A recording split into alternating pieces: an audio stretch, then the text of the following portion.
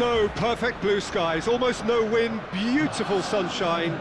These are indeed conditions for the beautiful game. The backdrop here, picturesque, idyllic. No doubt one of the best days of the footballing calendar and it has added to a really jovial, happy mood in the stands, helping to raise the level of sound by more than a few decibels. Shirt sleeve order, very much the dress code. One glance and you know where we are. It is one of the most recognisable arenas for the beautiful... Aubameyang!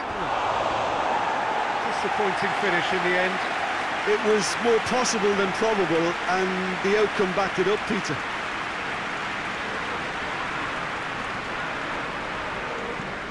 Luiz with the crossfield ball. Cedric Soares. Granit Xhaka. They've seen lots of the ball. Time to go for it a bit, a bit of creativity and a... So, perfect blue skies, almost no wind, beautiful sunshine. These are indeed conditions for the beautiful game. The backdrop here, picturesque, idyllic. No doubt one of the best days of the footballing calendar, and it has added to a really jovial, happy mood in the stands, helping to raise the level of sound by more than a few decibels. Shirt sleeve order, very much the dress code.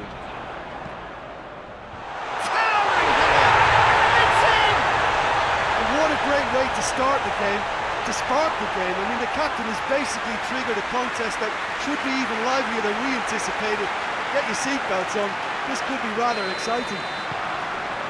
What a great header, got plenty on that. Yeah, I just thought he wanted that more than anyone else on the pitch, and it was fully deserved. He gave it everything he had.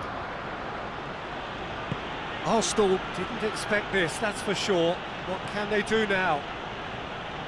Battles to win it back. Just to point out...